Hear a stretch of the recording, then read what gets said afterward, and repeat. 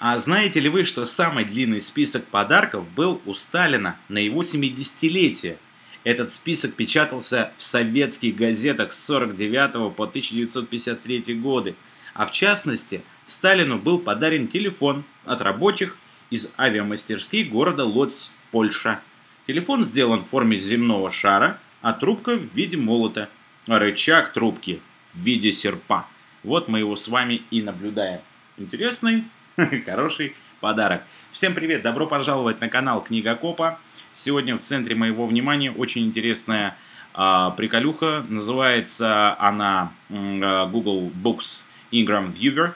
И что же оно из себя представляет? Для тех, кто не знает, кому интересно, э, есть слова, которые нам с вами встречаются, и мы часто задаем себе вопрос, э, сколько ими пользуются вре, лет, времени и так далее. Так вот, э, данная, данный сайт, данная страничка, она вам поможет э, на некоторые вопросы ответить. Почему? Потому что здесь собрано очень много анализаторской,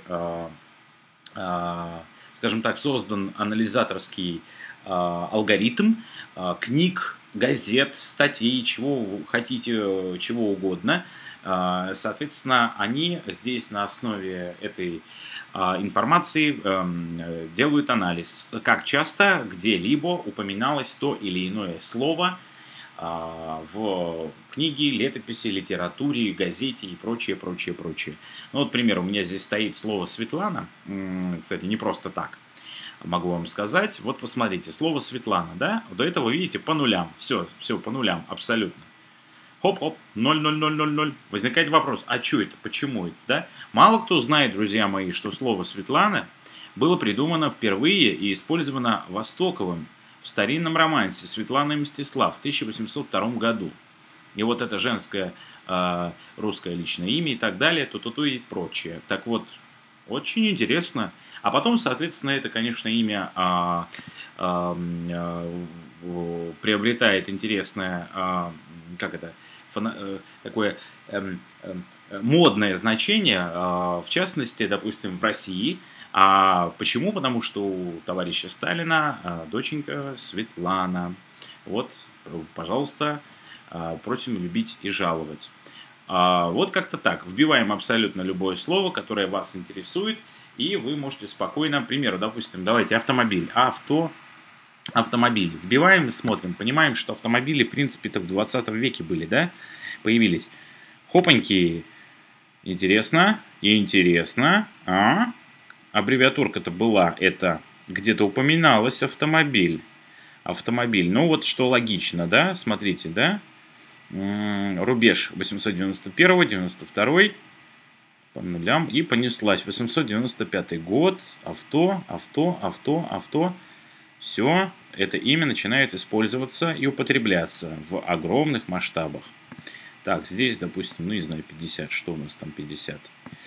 50 разных языков мира.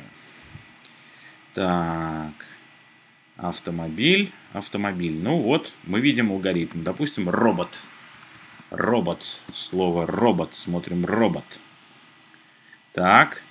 И обращаем ваше внимание, что слово робот появляется где-то вот в начале, даже в конце 18 а, века.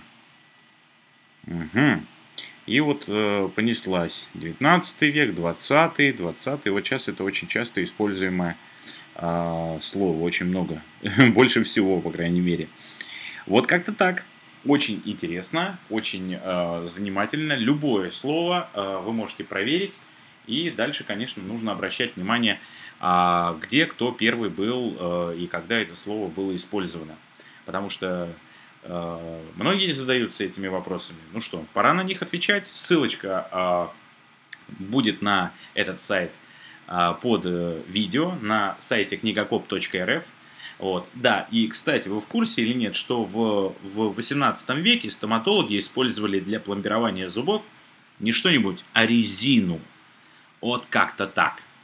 Кому понравилось видео, палец вверх, подписываемся на канал. Я буду продолжать дальнейший книгокоп. Помогу, чем могу. Спасибо за то, что смотрели. И, в общем, пока-пока.